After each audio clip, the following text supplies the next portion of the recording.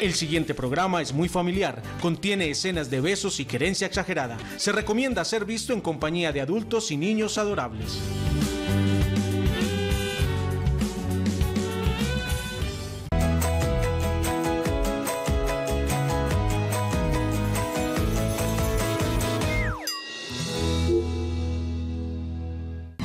Nos unimos en un arrullo para abrir juntos un camino. Yo te ayudo a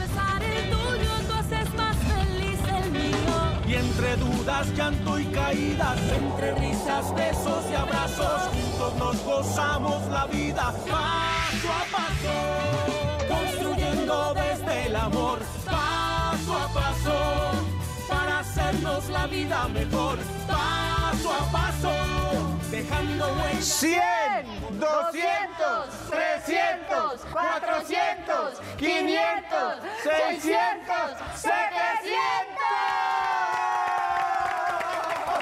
700 programas de Estamos celebrando hoy y bienvenidos ustedes a esta celebración hoy. Programa número 700. Moni, ¿a qué horas? ¿Cuándo? Increíble, impensable, inlograble y aquí estamos, 700 programas que se multiplican por 700, muchas miles de familias que se suman y se han sumado, cada uno de sus integrantes, son multiplicadores de este mensaje, entonces pues calculen cuántos programas eh, se han multiplicado a lo largo de, estos 700, de estas 700 emisiones que hoy cumple paso a paso aquí en Telemedellín, este programa eh, del despacho, de su programa Tejiendo Hogares, que es finalmente nuestro gran objetivo y nuestro eslogan dice, pues paso a paso, tejiendo hogares. Tejiendo Hogares, 700 programas todos los días pensando este programa de alguna manera como un juego, como un juego para aprender, como un juego para divertirnos, como un juego para compartir, como un juego para entender situaciones que a veces no nos gustan, que a veces no esperamos, como pasa en todos los juegos, y un programa como un juego para tener invitados muy especiales como los que tenemos hoy, porque hoy no estamos solos al inicio de este programa. Les vamos a dar la bienvenida a Violeta Villada y a Jerónimo Posada. Violeta y Jerónimo, bienvenidos, ¿cómo están? Súper emocionados porque... Es un gusto estar aquí. Sí, es un súper gusto estar aquí porque a nosotros nos gusta mucho Sí. Telemedellín y es increíble estar con dos personas súper especiales que se dedican a construir y a enseñarle a las personas a construir hogares hermosos. Es Ah, un no, pro- Leo, empaque y vamos. Bueno, ahí lo dejamos. Que Ahí esté les muy bien. Pero adelante, adelante, adelante. Jero, ¿cómo estás? Bien, ¿y vos? Muy bien, contenta de tenerte por acá. Sí, ¿Te gusta la tele? Sí, mucho. ¿Sí? Sí. A, a futuro te gustaría dedicarte a eso? A futuro, pues no me vaya a quitar el puestico ya que yo también Sí, me hizo el sí, trabajito. bueno, para nosotros niños es un gusto tenerlos acá, sobre todo para hablar de un tema muy bonito que tiene todo que ver con ustedes, que ustedes son los maestros y los más expertos en el tema y nos dan cátedra a los más grandecitos, por no llamarnos adultos. Eso me cuesta, Leo. Uy, adultos.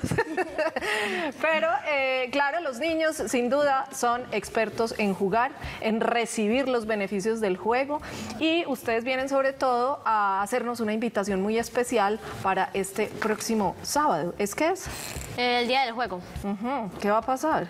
El día del juego está hecho para desconectarnos de las pantallas de la tecnología para compartir con nuestra familia por medio del juego, disfrutando de esta maravillosa experiencia. Estando al aire libre, eh, disfrutando del ambiente, estando compartiendo con seres queridos y pues en esto consiste el día del juego. Pues ahorita más adelante vamos a tener detalles, ¿cierto? De este día, que además va a tener unos personajes hmm, fantásticos, impensables. Eh, pero por lo pronto, a, a ustedes que les gusta jugar en sus familias y con sus padres. Chucha cogida. Chucha cogida. Chucha cogida. Chucha cogida. ¿Quién coge a quién? ¿Los papás a Jero o Jero a los papás? No sé. Se van turnando. Se van se turnando. ¿Y a Viole cuál es su juego favorito? Eh, me gustan los juegos de mesa y escondidijo. Porque- Y aquí, honestamente, ¿por qué? Porque me ibas a decir. Porque soy la mejor escondiéndome. Ah, sí. Aquí, así como decimos los países, a calzón quitado. Honestamente, ¿cómo le va a ustedes con las pantallas? A mí, bien. ¿Mucho? ¿Poco? ¿Lo normal? Las dominamos. Ah, ustedes dominan las pantallas. Bien, buen término, buen término. ¿Hay reglas en la casa para el uso de las pantallas? Sí. Sí. ¿Qué regla le tienen ¿Cómo a Viole? cuáles? A mí me tienen que no debo pasar más de una hora viendo internet porque parte de la infancia de un niño es jugar porque jugar está escrito en cada niño debe jugar porque en mi casa si yo no juego hay que cantaleta que Dios mío bendito. Pero lo haces porque te gusta jugar o por la cantaleta. Eh, por las dos. Ah, bueno, un poco No, de cada también uno. porque jugar es abrirle camino a la imaginación y tener imaginación es algo maravilloso y algo que dominamos los niños. Sin duda son los maestros. ¿Y a ti te tienen reglas con el uso de las Sí, pantallas? es que yo tengo hermanos, ¿cierto? Y uno mayor, entonces el mayor comparte los videojuegos conmigo. ¿no? Lo- los dos nos apasionan mucho los videojuegos. Y pues entonces es día dos horas. Y de vez en cuando obviamente la mamá nos pone a, a organizar y todo, pues ayudar en la casa, porque también eso lo dice un código del niño. Pues bien, de esta invitación que hay este sábado en Medellín es que justo queremos empezar hoy hablándoles en el programa y por eso pues este pequeño video a manera de invitación y ya la desmenuzamos aquí para que entendamos qué es lo que va a pasar aquí en Medellín. ¡Que comience el juego! El sábado 25 de mayo te esperamos en Aeroparque Juan Pablo II de Medellín, de 9 de la mañana a 4 de la tarde. Para celebrar el día más increíble del año, el Día del Juego. Un día para correr, saltar, bailar y disfrutar fuera de casa junto a Nickelodeon y Nick Jr. El Día del Juego llega gracias a la Alcaldía de Medellín, nosotras, Pequeñín, Familia y Parmalat. Pues ahí está la invitación para el día de juego que será este sábado, así que todos preparados. Nuestra línea está abierta 268-6033 para que nos llamen, nos cuenten cómo ha sido su experiencia con el juego, para que se programen para ir el próximo sábado, para que nos cuenten también cómo se han divertido con estos 700 programas. Los escuchamos a todos 268-6033. ¿Preparados para ir el sábado? Claro que sí, yo estoy súper preparada. Sí, yo también, Voy a descansar porque tengo que tener las mejores energías. Sí, uno, tenemos que dormir desde, vea, nos vamos a programar, vamos a dormir, nos vamos a... ¿Desde hoy o qué? Eh, eh, eh, el, el viernes llegamos al colegio, almorzamos y nos acostamos, listo, listo. El otro día nos despertamos a la una de la mañana. ¡Ah! A la hora de la mañana. Pero sí está más que empacado. Pues bien, para que conozcamos hoy la experta que trae toda la información de lo que será este día, cómo podemos entrar, quiénes pueden asistir, dónde va a ser, qué debemos llevar, está lista nuestra experta en paso a paso. Es un gusto recibir en nuestro sede a Margarita María Gómez, Hola, primera dama. Bienvenida, Margarita. Hola Violeta. Mamá de este día del juego. ¿Cómo estás? Muy bien, ¿y ustedes? Muy ¿Cómo bien, vamos? contentos y sorprendidos aquí con estos protagonistas. de ¿Cómo le parece, ah? Tremendo. Traímos como una especie de Tremendos reemplacito, una especie de reemplacito, niños empiecen. Se a ver. descuidan Sí, y- rapidito, rapidito. Yo les dije que nos dieran un tiempito, que todavía necesitamos el trabajito, pero sí, ahí se Ellos los ya vamos saben qué quieren ser cuando Están estén calentando Sí, banca ya. claro que sí. ¿Qué quieren ser? Yo quiero ser comunicadora Ah, social. ¿y tú? Diseñador 3D. Ah. Muy bien. Feliz equipo. cumpleaños. Muchas gracias, 700 programas, 700, gracias también. Eh, eso no se cuenta todos los días. Pues será que arrancamos por ahí. ¿O qué leo? ¿Usted qué dice? Por los programas. Sí. Eh, arranque, ya, ya. Vaya pues. Ya. Pues, porque como hoy trajimos reemplazo, yo sí quiero que ustedes empiecen haciendo la entrevista, qué quieren saber del día del juego, qué creen que a la gente le gustaría saber del día del juego y ahí tienen a la experta. Adelante. Yo, te quiero hacer una pregunta. ¿A ti qué te inspiró a hacer este tema, este, esta actividad del Día del Juego? Bueno, mira, el Día del Juego es eh, un tema que Nickelodeon viene celebrando desde hace 15 años. Sin embargo, en nuestra ciudad siempre hemos realizado actividades alrededor de este día, del Día Internacional del Juego. ¿Por qué es importante el juego en los niños? Porque a través del juego los niños aprenden muchas cosas. Especialmente tenemos la posibilidad de relacionarnos unos con otros, de aprender a ganar, de aprender a perder. Los niños tienen la posibilidad de poner las reglas en el juego. Tenemos la posibilidad de aprender a trabajar en equipo. Y también los niños a través del juego asumen roles, roles de adultos, ¿cierto? Y eso también los transporta y los lleva a otros mundos maravillosos. Entonces el juego en todos los sentidos es enriquecedor, nos ayuda a juntarnos a los adultos con los niños también, a los adultos volverse niños y a los adultos también volverse grandes, ¿cierto? Entonces eh, el juego trae muchos beneficios y esta es una oportunidad que damos para que las familias se junten y disfruten en un día muy especial al aire libre. Ah, bueno. Yo Viola tengo una levantó la. Cuéntame. Eh, ¿Cuál de cuando eras pequeñita era de tus juegos favoritos y por qué era tu juego favorito? Mira, yo fui hija única, entonces siempre, generalmente estaba sola en la casa. Cuando estaba sola en la casa me encantaba jugar a la secretaria. Entonces yo me ponía uñas de plastilina largas y cogía cuánto talonario veía en un banco, cualquier consignación, cualquier cosa, me la llevaba para la casa. Los de las que vendían las telas, eh, eso iba para mi casa y jugaba a la secretaria, tenía una libreta. Y cuando estaba con mis primos, que tenía unos primos de mi edad, me gustaba mucho jugar con ellos escondidijos y nos tirábamos por un morro en cartones. Eso me encantaba. No nos bañábamos en todo el día. Bueno, eso era lo máximo. Me gustó mucho jugar cuando era niña. ¿Quién creyera que una primera dama no se bañaba, cierto, niños? Y que rodó el cartón por una falta. En cartón, por una falda y sin falda. No, pues, y sin falda.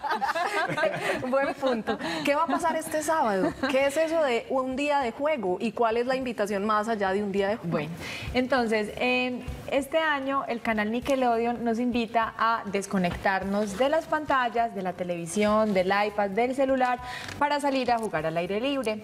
Y que es lo más importante, que lo hagamos en familia, que lo hagamos con los papás, con nuestros abuelos, tíos, cuidadores, que invitemos a los primos y que disfrutemos de muchas actividades tradicionales, de esos juegos así como los que estamos hablando, los que jugábamos cuando estábamos pequeños al aire libre. En un espacio abierto, es en la eh, pista del Aeroparque Juan Pablo II, desde las 9 de la mañana hasta las 4 de la tarde. Hay que hacer filas de la una, como yo. ¿eh? Hay que hacer fila, la recomendación es madrugar, no nos dejemos coger la noche. Estos son espacios a donde van muchas personas y ese es el propósito. Pero tenemos actividades para todos, para los niños grandes, para los niños pequeños y la idea es esa, es encontrarnos como familia. ¿Qué va a pasar allá? Van a estar los personajes de Nickelodeon, van a tener eh, varias apariciones eh, y vamos a tener juegos a lo largo de todo el aeroparque.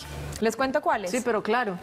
Bueno, vamos a tener, por ejemplo, una piscina de pelotas, vamos a tener carreras de encostalados, vamos a tener carreras de Pero gateadores. esos costales con una característica bien especial. Demasiado lindos porque los costales son los piecitos de los personajes de Ajá. Nickelodeon, de Bob Esponja, de Dora la Exploradora, de las Tortugas Ninja. Entonces, eso es algo bien particular. Tenemos Twister, pero inflable, que no es cualquier Twister, ¿cierto? Carreras de gateadores. Carreras de gateadores para los bebecitos, eso me parece súper divertido. Yo creo que ahí voy a estar pillándome a esos bebés porque me parece súper especial una carrera de, de gateadores. Vamos a tener muchas actividades al aire libre para los grandes y para los más pequeños. Pregunta a Margarita, por aquí, ¿se puede llevar mascotas? No, No no, se Leo, puede. no. Este es un espacio donde va a haber muchos niños, donde hay eh, un alto volumen de personas, entonces necesitamos concentrarnos en lo más importante, que son los niños. No, no es prudente que eh, los perritos están allá de pronto haciendo sus necesidades en un lugar que, que no queremos. Entonces, por este día tan especial, no vamos a tener permitido el Maluco caer en una de esas, en esa carrera de encostalados. Yo le digo.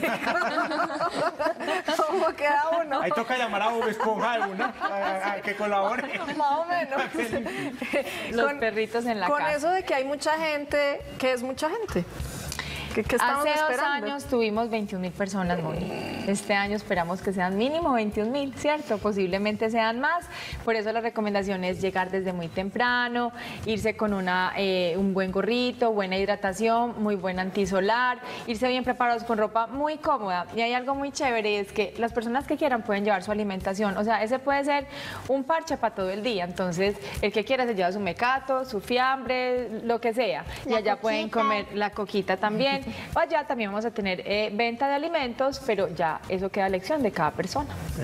Vamos a ir a la línea 268-6033. Violeta, ¿quién nos llama? ¿Sabes quién nos llama? Eh, Jenny, la mamá de Edwin. Eso, ahí está Jenny, bienvenida. ¿Cómo vas? Eh, muy buenas tardes, ¿cómo están? Muy bien, Jenny, contentos de oírte. Eh, tu pregunta o tu experiencia, lo- ¿qué nos quieres comentar con este día del juego? No, pues no, sino que yo voy a felicitarlos por el programa. Yo siempre, y nunca, siempre he tratado de llamar y nunca me ha entrado la llamada. Ah, pero afortunada hoy, 700 programas y llamaste el día que era. Sí. Después de Sí, yo 700 siempre, veces, hoy fue el día. Jenny, un abrazo muy especial. Quisiera yo preguntarte a lo largo de este 700 programas que has aprendido en paso a paso. No, pues uno sí, uno oiga mucho, uno aprende mucho. Algo que se te haya grabado así como especial. Eh, no, me ha gustado con eso de, de lo de los niños, como de cómo, pues, que yo a veces son como tan difíciles como en esa parte, me ha gustado mucho. Como el manejo, ¿no? De las Sí. relaciones, del trato. Muy bien. Eso sí. Jenny, muchísimas gracias, un abrazo, gracias y felicitaciones también para ustedes. Estos 700 programas pues han sido, eh, yo diría que en el 90% gracias a que ustedes están ahí siempre conectados, dispuestos a recibir la información que aquí tenemos para comunicar y para entre todos aprender. ¿Tienen preguntas, niños? Yo tengo una pregunta. Cuéntame. Como no todo es color de rosa, Ay, ay, ay. ¿qué- ¿tú qué piensas de a estos niños que desde temprana edad se les dan aparatos tecnológicos sin límites? Bueno, ahí la responsabilidad es de los padres de familia, ¿cierto? Y de los cuidadores. Nosotros eh, tenemos que saber cuál es la edad adecuada para que un niño tenga un celular. Por ejemplo, recomiendan que un menor de 14 años no tenga celulares. Y los menores de 14 años no pueden tener redes sociales. Así la ley lo especifica y lo determina, ¿cierto? Y cuando los niños ya tienen acceso a estas herramientas, ¿qué debemos hacer? Los adultos debemos enseñarles a manejar eh, estas herramientas y les debemos explicar cuáles son los riesgos a los que están expuestos. ¿Por qué? Porque el celular, digamos que la tecnología trae muchos beneficios, pero también tiene ciertas cosas en contra, que nosotros ¿Qué es lo mejor que podemos hacer como papás? Es enseñarles a manejar la tecnología, porque queramos o no, está aquí inmersa en nuestro mundo, en nuestro entorno. Entonces, eso es lo que tenemos que aprender, acompañarlos en el uso de las herramientas y vuelvo y digo, enseñarles cuáles son los riesgos, porque hay gente mala que se aprovecha utilizando una cara que no le corresponde para llegar a los niños. Eso es lo que tenemos que explicarles. Jero.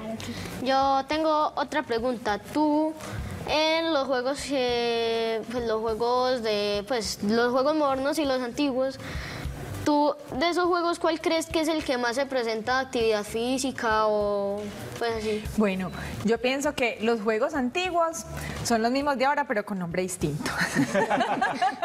La chucha ya tiene muchas versiones, chucha zombie, chucha cogida, Chucha plastilina. chucha plastilina, pero eso es la misma chucha, ¿cierto? con diferente fachada. Bueno, con, con reglas distintas que los niños les han puesto, ¿cierto? Eso es lo divertido del juego. Entonces, eh, los juegos modernos los- o los antiguos, yo pienso que todos son divertidos con tal de que los disfrutemos, de que aprendamos, de que sean provechosos para nosotros. Yo pienso que lo más importante es que nos gusten, ¿cierto? Pero yo pienso que lo tradicional nunca va a desaparecer. El parqués, saltar lazo, jugar con una pelota. ¿Qué hay más divertido que eso? Los escondidijos. Las mariposas de los escondidijos. ¿Cierto que sí? Entonces, no me quedo con los unos o con los otros. Yo pienso que todos son divertidos. Claro.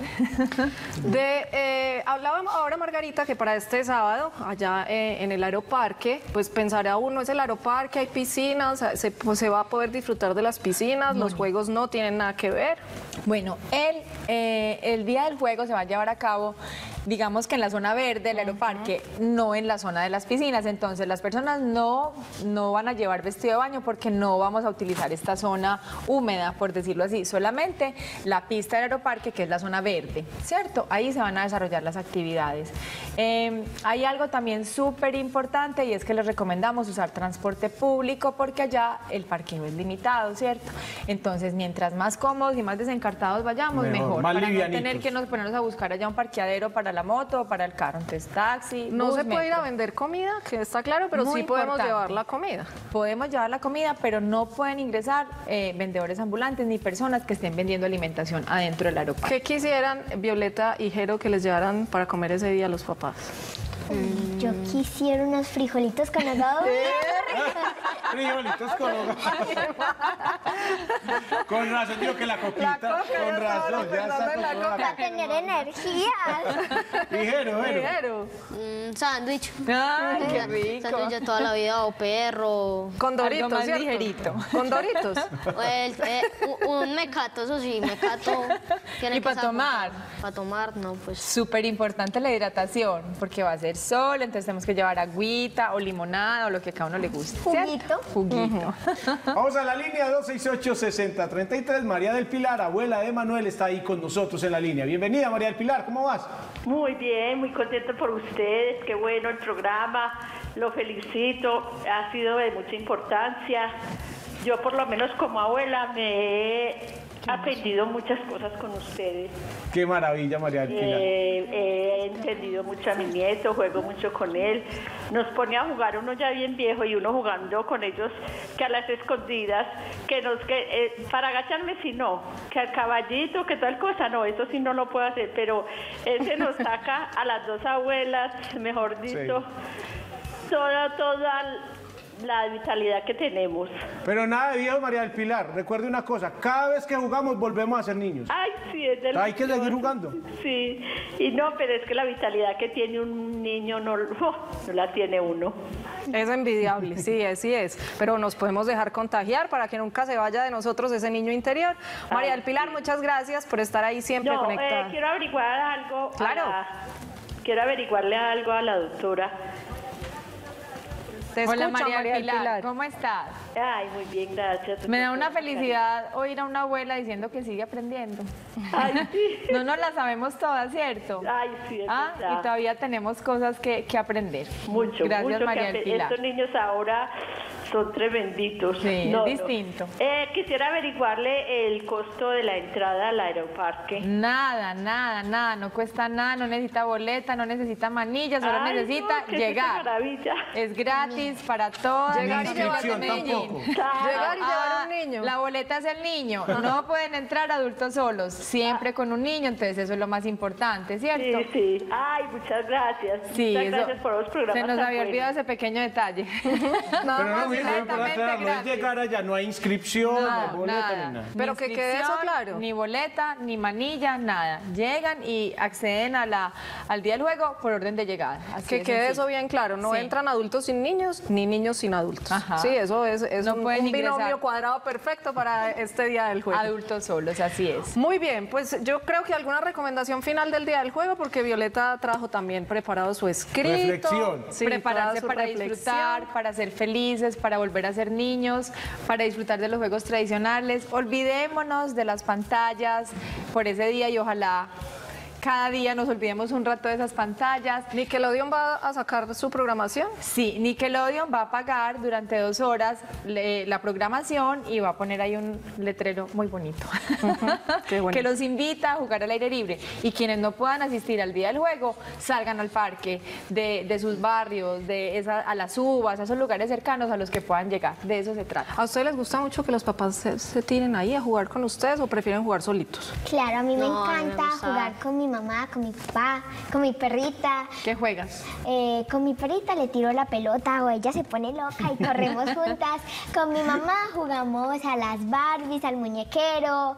eh, con mi papá al fútbol, a tirar pelota. sí. Y es divertido porque es volverlos a ver a ellos ser niños y enseñarles las nuevas reglas de los juegos. Así es. Y Jero.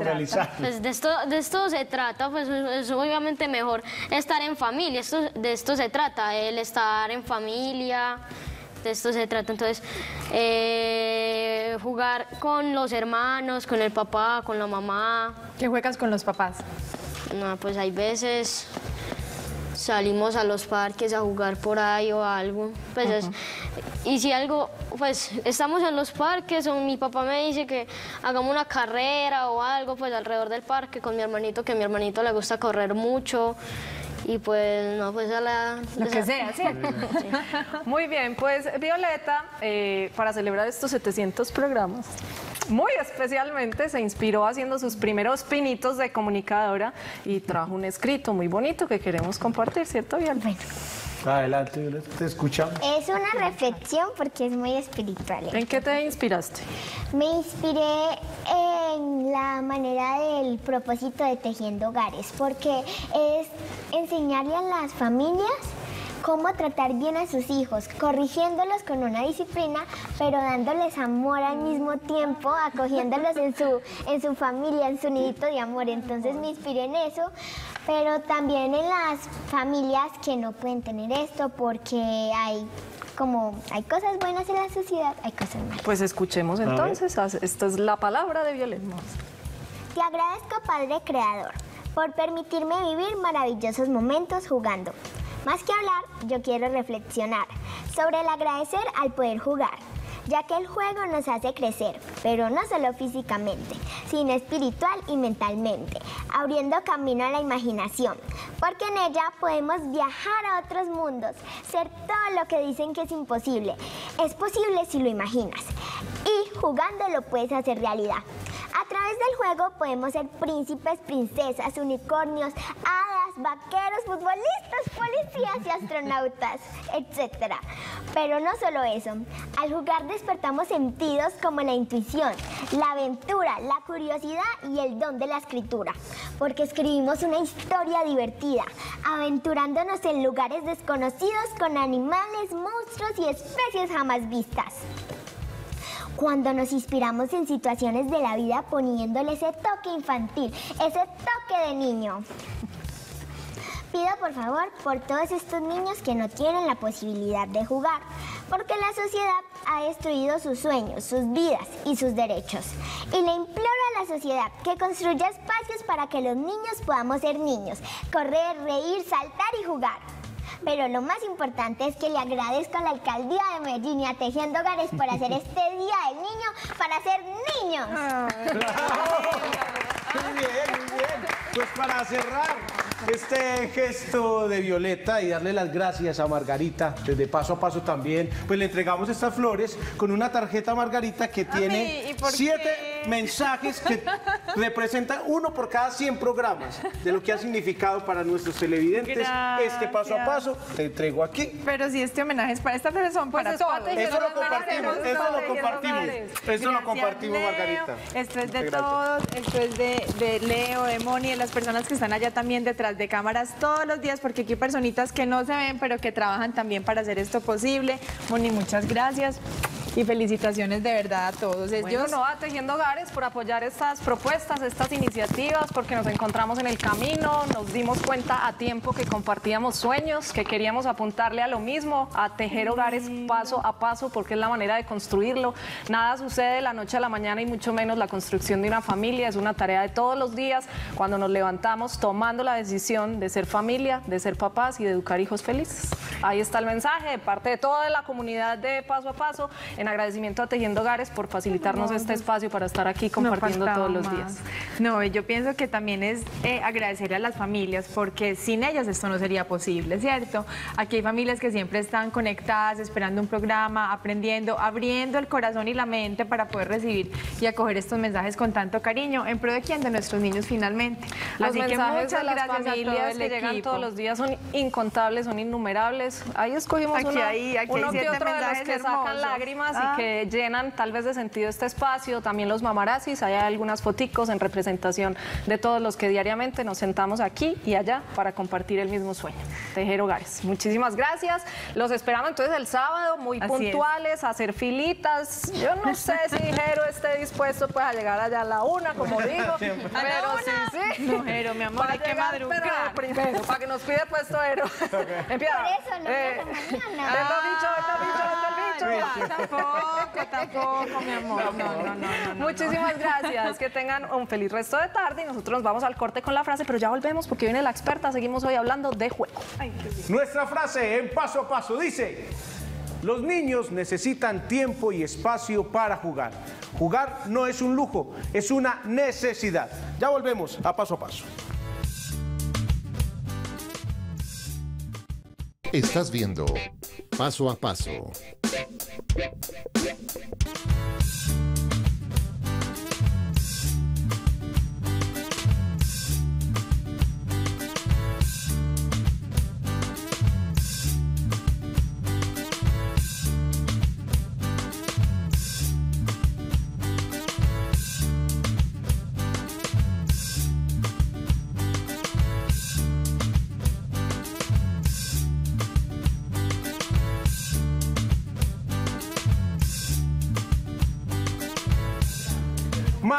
Ángel e Ismael, ya con balón en mano, están preparados para el día del juego en nuestro Mamarazzi de paso a paso. Recuerden enviar sus videos y fotografías si van al día del juego. Tómense fotos, no las comparten la próxima semana para que se vean aquí en el Mamarazzi. Ya estamos en paso a paso con nuestra experta.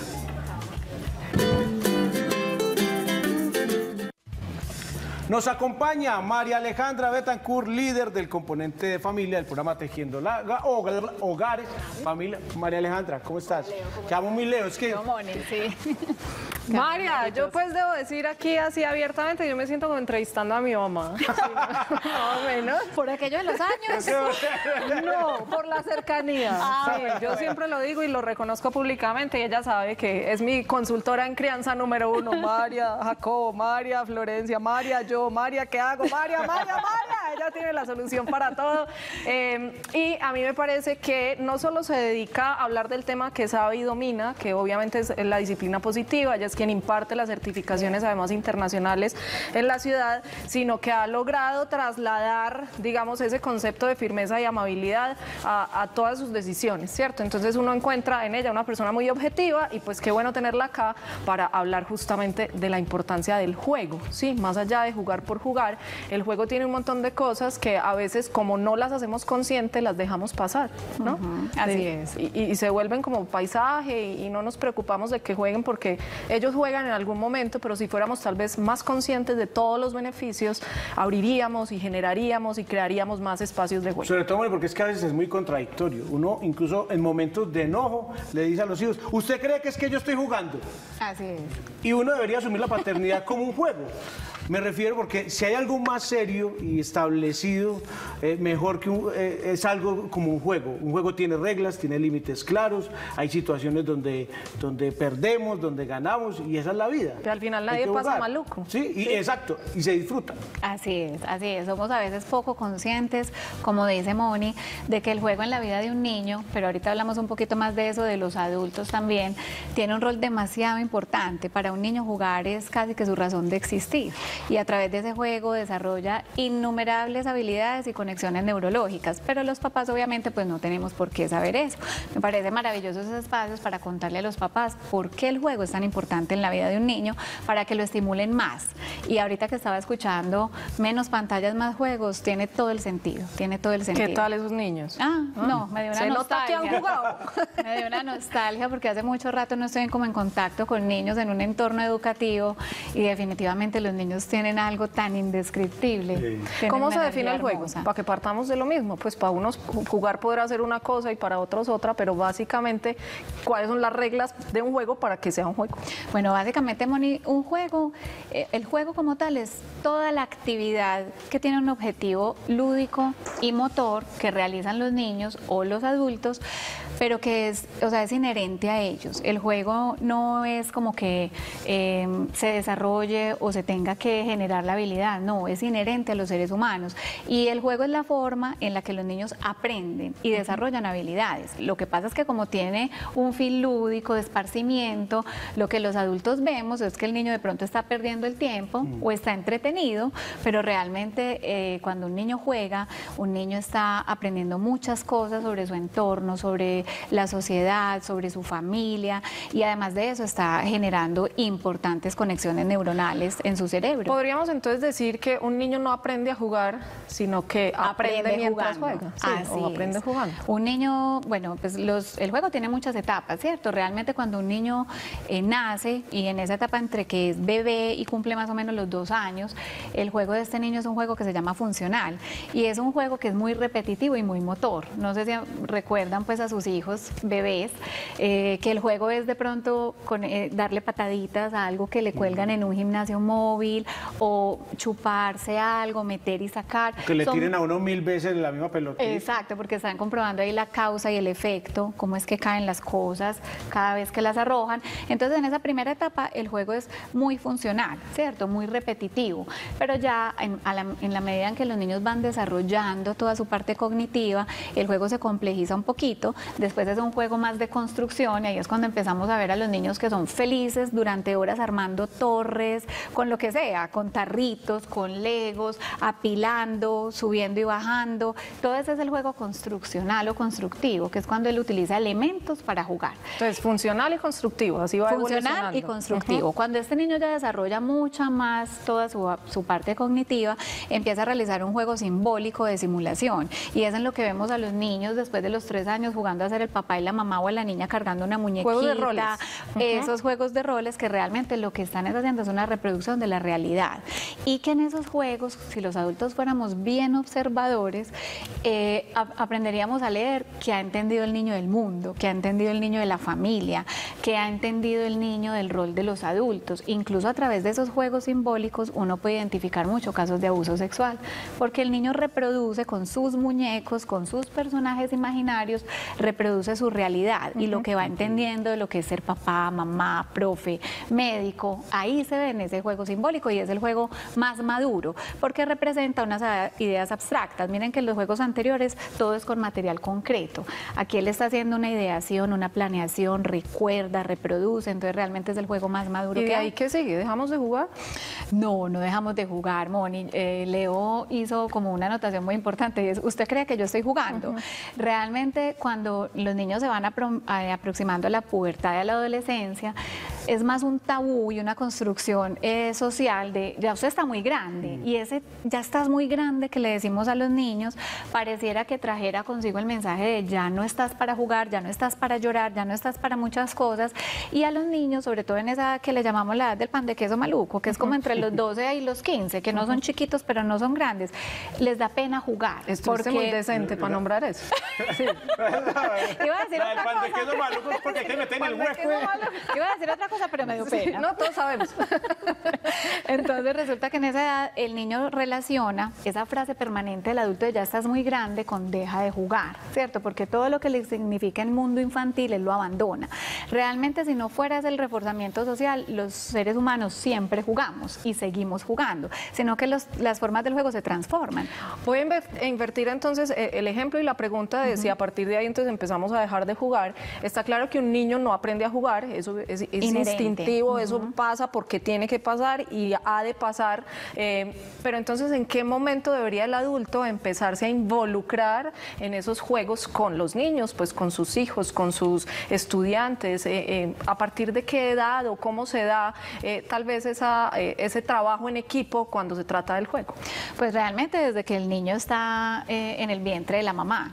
Y miren que también jugar es tan inherente al ser humano que lo hacemos sin darnos cuenta tal vez. Entonces este bebé da una patada y inmediatamente ¿qué hace la mamá? Ay, mira, mira, y llama al papá, ¿cierto? Ponele la mano, ponele la mano. Entonces el niño responde y yo sigo estimulando la barriga para que este niño, y eso es un juego, ¿cierto? Y nace el bebé y el bebé se ríe y yo le refuerzo la sonrisa. Eso es juego. Las cosquillas son juegos, son lúdicas, ¿cierto?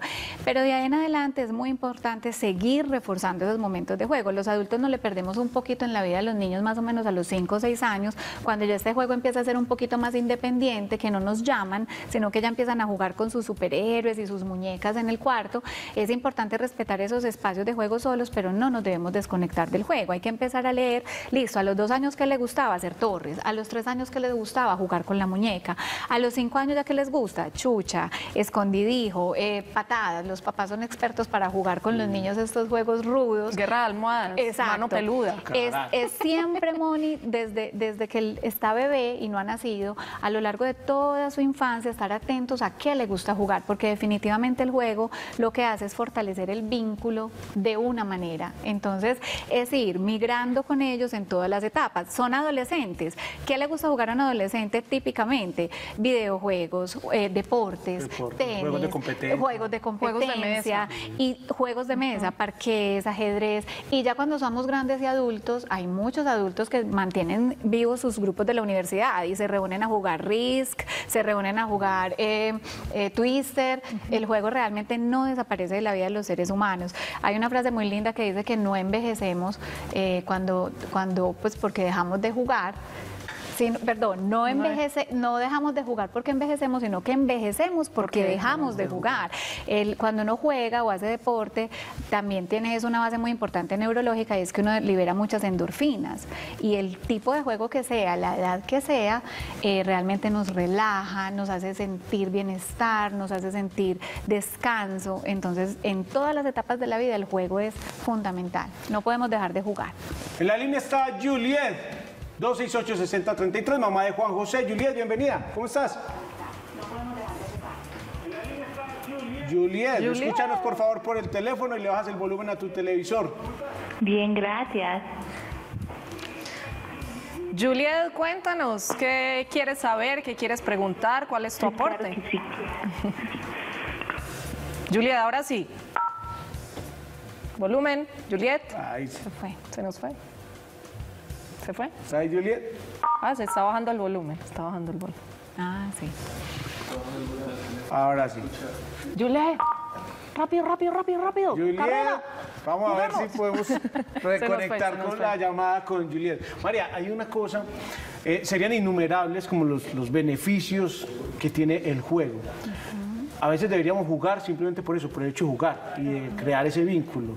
Porque muchas veces, a veces siente uno que en este afán de querer aprender cosas, hay un juego para enseñarle a, a cada niño cada cosa. Entonces, juguemos esto para que aprenda a relacionarse con los demás. Juguemos esto para que aprenda, tenga tolerancia a la frustración. Juguemos esto para tal otra cosa. Muchas veces lo que vamos a hacer es simplemente jugar y, y ahí estará el aprendizaje. Así es, porque es que el juego en sí trae unas reglas, trae momentos de pérdida y ganancia, trae eh, todos estos momentos de esperar el turno y eso es realmente lo que uno quiere desarrollar en ello, la tolerancia a la frustración, hacer acuerdos, respetar las reglas, Ganar y el perder. aprender que en la vida se gana y se pierde. Entonces realmente en, en el juego que sea, como tú lo pongas, todo eso está Se inmerso. Entonces no hay que pensarnos como tanto eso. Justamente en aras de todo lo que el juego supone y los adultos lo sabemos, pero no lo hacemos consciente, tratamos de jugar tal vez un poco al revés con ellos y perdemos el foco de lo que realmente o del propósito real de un juego. ¿A qué me refiero? A que casi siempre jugamos con ellos y hay maneras de ganar o perder, de eh, se pone en juego la frustración. Tratamos de dejar que ellos ganen, que sean protagonistas, de no ganarles, de que se sientan los héroes y, y perdemos como el foco tal vez del juego. Si siempre ganan, pues se pierde el propósito. Lo que pasa es que yo he notado, Moni, pues como en todos estos años de trabajo con familias, que los papás les tenemos mucho miedo a que el niño llore y que estalle en crisis. Entonces uno sabe que después de un Claro, es por evitar sino el problemita. Exactamente, que es más fácil complacerlo, que el juego termine perfecto, pero realmente le estamos, lo estamos privando de una oportunidad enorme y es de entender cómo funciona la vida. Y la vida funciona así. Tú juegas, apuestas y a veces pierdes y a veces ganas. Y la frustración es parte de la vida. Cuando yo le hago creer que siempre gana, realmente no le estoy enseñando que va a haber momentos en los que va a perder y son estos niños que pierden en el colegio o en una fiesta infantil no se ganan la sorpresa y o problema. Pero hay, hay casos, digamos, cómo manejar eso, porque hay casos donde uno sabe que siempre podría ganarle a los niños, ¿cierto? Pues por- porque somos mayores, porque ya tenemos un dominio del cuerpo, juegos en los que eh, se sobreentiende que si apostáramos conscientemente, siempre Sí, ganaríamos. como jugar como Nica Londoño Carreras. pues. Eso es como mediar un poquito, como a veces lo dejo, a veces no lo dejo. Sí, que no siempre se sienta el perdedor, porque también si siempre sabe que no tiene ningún chance, pues se desmotiva, porque uno también muchas veces, como en la vida, necesita que la vida lo deje ganar de vez en cuando. El Entonces yo creo que es una mediación, pero no siempre que este niño gane, porque realmente la vida se trata es de adaptarse y tolerar la frustración. Y nada mejor que este niño aprenda, amor, perdiste, y va a llorar, y va a patalear, pero ahí está el adulto para contener, acompañar amorosamente y no de pronto contestar, ay, no, otra vez va a llorar, entonces con usted no se puede jugar, ¿cierto? No. Amo, ¿Se te ocurrió? ¿Quién qué? no ha respondido así? Ay, qué pena jugar con No, no. usted. Pero bueno, como ese lenguaje no se nos ocurre, es más bien decirle, hijo, sé que estás triste, validar la emoción, pero de eso se trata jugar. Y siempre que juegues hay esa posibilidad. Podemos perder y podemos ganar, pero lo más importante es compartir tiempo juntos. Lo que pasa es que también a veces los adultos eh, les generamos mucho la expectativa de que solo quien gana es el mejor, ¿cierto? Que aquí que no se valen segundos lugares y realmente no es así. Perder sí es ganar un poco. Claro que Sí. sí. Es validar mucho el esfuerzo, el proceso y decirle, bueno, no siempre se gana, pero ¿qué fue lo importante aquí? Que tuvimos con quién jugar, que sacamos el tiempo, que nos divertimos. Lo otro es un resultado que hay que aceptar, pero no es lo más importante. No es lo más importante jugar. Eh, perdón, ganar. ganar. Lo importante es jugar, pero muchas veces uno como papá se pregunta eh, cómo controlar ese juego, porque a veces la prohibición del juego se utiliza como un castigo. Para muchos, si no tal cosa y no tarea, no juega, no va al parque, no tiene videojuego. ¿Es un pecado eso, María? Pues lo es de jugar de esa manera. No es Miguelito, sino el tonito, como dicen por acá. Entonces, es muy diferente, Leo, decir, si no haces la tarea, no jugás. Eso claramente es un chantaje y es una relación de poder. Cuando yo digo, hijo, hasta que no hagas la tarea, no puedes jugar, estoy hablando de la consecuencia natural que trae la vida. Y el niño lo asume diferente. O si haces la tarea, podrás ir a Cuando jugar. hagas la tarea, vas a jugar, hijo. Pero sí, no valernos de eso que sabemos que les gusta, para que, que sufran disfrutan. y paguen por su error, porque aquí se trata es de que aprendan a solucionar ese error. Muy bien, nos vamos a ir al corte con nuestras grandes citas pequeñitas. Ya volvemos para atender llamada y pues rematar este final del programa que hemos dedicado a hablar del juego, específicamente concentrándonos en el gran día del juego que se celebrará este próximo sábado en el Aeroparque, gracias a Nickelodeon, a la Alcaldía de Medellín y otros patrocinadores privados al día que están todos muy invitados. Nos vamos con grandes citas pequeñitas y ya volvemos. Grandes citas pequeñitas. Amor, recoge todos esos juguetes de tu habitación. Mira qué desorden. Mami, no puedo. ¿No puedes? ¿Por qué, amor? Porque estoy muy cansada de jugar, mamá. Juguemos a recoger los juguetes. Venga. Diana, cuatro años, grandes citas pequeñitas.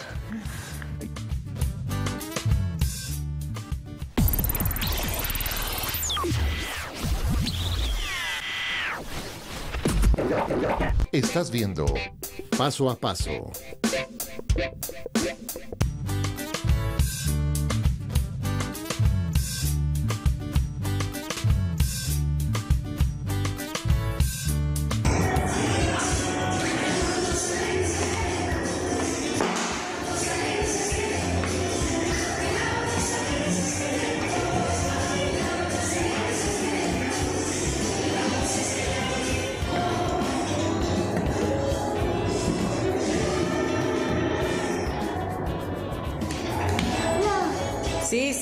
Póngasela. ¡Que comience el juego! El sábado 25 de mayo te esperamos en Aeroparque Juan Pablo II de Medellín, de 9 de la mañana a 4 de la tarde. Para celebrar el día más increíble del año, el Día del Juego. Un día para correr, saltar, bailar y disfrutar fuera de casa junto a Nickelodeon y Nick Jr. El Día del Juego llega gracias a la Alcaldía de Medellín, nosotras, Pequeñín, Familia y Parmalat. Ahí está la invitación para que se programen. Recuerden tomarse esa foto para nuestro mamarazzi. Ay, foto sí, con los van a estar personajes. todos. Me dijeron. Bob y- Esponja, las Dora- tortugas ninja, Pop Patrol, Dora la exploradora. Dora la exploradora, Sí, me tomo Patricio. Foto con el tocayo de las tortugas ninja. Con Leonardo. Claro. Leonardo y Rafael Miguel Ángel y Donatel. Muy bien, vamos a la línea, Leo, hay llamada que nos está esperando desde antes del corte. Ahí está Erika, ¿cierto? Mamá Erika. de Ismael y Emma. Erika, ¿cómo estás? Bájale el volumen al televisor, porfa, nos ¿Aló? escucha solo por el teléfono. ¿Cómo estás? Muy bien, gracias. ¿Y ustedes? Muy bien, Erika, contentos de que participes hoy, que hablamos del juego. Erika. No les escucho muy bien a ustedes por el tel- Ya le bajé todo el volumen al, tel- al televisor, pero no escucho nada por el teléfono. A ver si ahí nos escuchas mejor.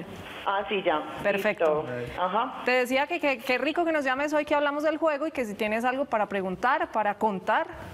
Claro que sí. Pues primero que todo para agradecerles, porque es mucho lo que hay que agradecerles a ustedes como programa, a la primera dama. Eh, para, la, para la invitada, la experta, eh, primero que todo decirle, eh, a ver cómo hacemos nosotras, o por lo menos mis hijos son con una energía miedosa. Entonces, por ejemplo, yo saco raticos para jugar con ellos y entonces les, les explico que el juego es tranquilo, ¿cierto? Y les comparto y eso. Y ya yo dejo de, jugar y eso se vuelve una locura y quieren saltar, brincar en las camas, correr, gritar, darse con los pies, pues es, es como es difícil controlarlos un poquito, entonces como para que me explique cómo hacemos pues ahí como para controlar esas energías. Ella es Erika, la mamá de, de Vive 100 y Red Bull. Ya más o menos entendí, Erika. pues, ¿Qué, qué edades tienen tus Otra niños? cosita, qué pena. Y como Tranquila. al principio la Mónica dijo que es la, la vocera, creo, la que nos ayuda con todo lo de... Mónica, recordarme. De disciplina positiva. Eso, eso. Ella es la que soy- maneja todo el programa en el despacho de Tejiendo Hogares. Exacto, entonces yo no, yo soy una televidente nueva, ¿cierto? Entonces como ustedes son muy lindos y todo y siempre es, ay, eh, en la página tal, en la página tal, ay, lastimosamente yo no tengo redes sociales, yo no tengo nada de esas cosas, entonces me gustaría como que cuando hacen estas convocatorias, como, ay, o que los que no tengan puedan eh, participar en la línea, se inscriban o algo así, porque yo, ay, me encantaría estar dentro de todo esto de la, de la disciplina positiva y muchas gracias por todo. Erika, súper, eh, pues tu anotación, a veces hemos hecho convocatorias ahí, lo que pasa es que es pues más masivo a través de las redes sociales, pero pues tendremos en cuenta separar tal vez unos cupitos para aquellas personas que no lo tengan entonces. Y con respecto a lo otro, aquí está la experta. Erika, ¿qué edad tienen tus hijos? ¿Se nos fue? Eh, no, Ismael acaba de cumplir siete y Emma va a cumplir en un mesecito seis. Bueno, lo que pasa es que estos chicos están en toda la edad de la energía. Creo que los siete años es donde esa capacidad energética está a tope. Varias cosas. Mira, primero es importante definir límites, ¿cierto? Cuéntale a tus hijos en dónde sí pueden jugar y en dónde no pueden jugar. Y esos límites te van ayudando a que esto no sea encima de la cama, encima de la mesa. La energía hay que canalizarla de varias formas. Si tú estás notando que tienen tanta energía, valdría la pena eh, que los incluyeras en estos grupos que muchas veces son gratuitos desde el INDER eh, de deporte, ¿cierto? Porque los niños cuando tienen tanta energía hay que encauzar muy bien esa energía para que cuando estén en casa esto no sea esta explosión y este terremoto que tú ves, sino que ellos puedan gastar su energía en actividades deportivas y que ya en casa más bien se puedan enfocar en jugar en ciertos lugares de la casa y con unos límites pues mínimos de respeto, aunque tienes un hijo hombre y básicamente el juego del niño varón consiste en eso, en la pelea, en la lucha, en ganar, en ser el héroe, así vienen programados, digamos desde la De fábrica. genética. Entonces, yo, tengo un una sugerencia, difícil. no sé si sea válida. Yo, Mm. yo lo hacía con dos. Jun- eh, juntaba tres juegos. Entonces, cuando estaban así con una intensidad, jugábamos estatua, la ley del silencio y aguantar la respiración. ahí en unos segunditos que uno le ganaba.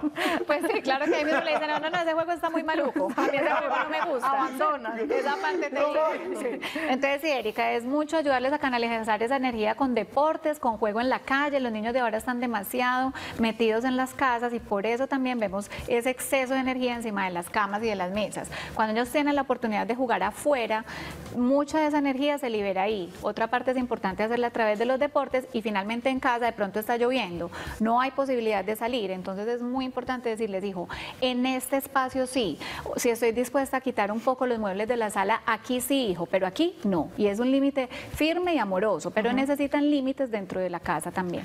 Finalmente, y claramente la intención de este día del juego que va a ser el sábado, eh, es desconectarse eh, un rato de las pantallas. Sin embargo, es evidente que hoy en día eh, los juegos a través de las pantallas cobran un lugar protagónico. Cómo encontrar un poco el equilibrio, también sin satanizarlo tanto, sino encontrar en ellos también tal vez una herramienta. Bueno, yo partiría de la base como de generar más conciencia cada vez más en los papás de que el juego libre, el juego constructivo, todo el tipo de juego que no es en pantallas, realmente lo que nos está ayudando a hacer es a generar conexiones neuronales. Los niños no nacen más o menos inteligentes que otros. Hay niños que conectan mejor sus neuronas. Se inteligentizan, pues, por Exacto. decirlo de alguna manera. Entonces, estas neuronas se, cono- se conectan únicamente a través de la actividad motriz. Una pantalla, a duras penas, le permite deslizar y presionar. Cuando yo soy consciente de Pero que entre vaya, más horas, usted un control de esos. la precisión. Ay, Dios mío, ¿qué L, qué sé, yo soy loca. la atención. Exige un nivel tal de vez, motricidad tal vez elevado. fortalece la atención, ¿cierto? Pero cuando yo soy consciente que todas las posibilidades de juego al aire libre están haciendo que mis hijos conecten neuronas, muy seguramente yo voy a ser capaz de establecer unos límites muy juiciosos de cuánto tiempo en el día debe pasar mi hijo al frente de una pantalla, que ustedes ya aquí lo han hablado mucho en Ujú. muchos programas, de cuánto según la edad, de cuántas horas, pero es muy importante establecer límites. No los satanicemos, son parte de la vida de los niños, pero hay que poner límites porque esa plasticidad del cerebro y esas conexiones neuronales no son para siempre. Hay una, unas edades más o menos alre- hasta alrededor de los 10 años en donde son cada vez más fuertes y más rápidas y no podemos estar como perdiéndoles tiempo Sí. en una pantalla en lugar de estar La, la haciendo muestra es uno, conexiones uno ya le ponen más de tres botones. Y ya no pudo. ya no pudo. Y tal vez un error en el que todos caemos es que, claro, es un mundo netamente tecnológico, ellos sí o sí van a estar expuestos y nosotros nos anticipamos. ¿sí? Así Entonces, es. ellos lo van a encontrar en algún momento, pero corremos mucho antes de que se lo encuentren en su vida a ponerles el celular, el televisor, cuando no les hace falta. Es como lo mismo que hemos hablado con el tema del dulce, de la sal, de todas estas cosas en la alimentación, que pues uno no extraña lo que no ha tenido y hay que aprovechar, ¿no? Como, como ese colchón y esa ventajita que nos dan al comienzo. Así es, porque a veces es más fácil la niñera digital, ¿cierto? Entonces este niño no come, entonces pongámosle YouTube para que coma. Póngale las ollas y el molinillo y verá. Exacto. Pero antes de los dos años no debería de aparecer una pantalla en la vida de un niño, precisamente por su desarrollo neurológico. Pero es más fácil la niñera digital. Yo creo que nos tenemos que poner en la tarea de hacernos responsables como adultos de muchos de los procesos de crianza de los niños, saber que no es fácil, pero que es lo mejor. Muy bien, clarísimo está el tema. Lo importante de jugar, el hecho de jugar porque tienen que jugar y lo que venga a través del juego pues llegará por añadidura, casi sin darse cuenta. Pero si somos conscientes de la importancia del juego, vamos a generar más espacios para que ellos tengan la oportunidad y la posibilidad de jugar.